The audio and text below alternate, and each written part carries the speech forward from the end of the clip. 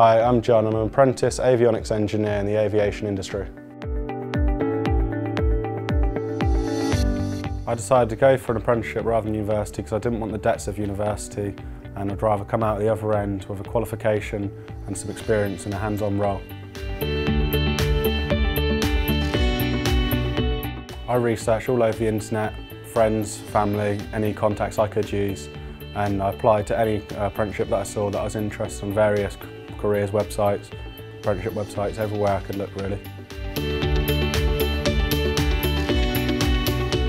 At the start of my apprenticeship I found it a slight struggle and slow at times, but that was all part of learning the basics. Once you get the basics, you really start to improve quickly. Do it. Start an apprenticeship. The opportunities at the end of the apprenticeships are endless, and what you learn during the apprenticeship is also priceless.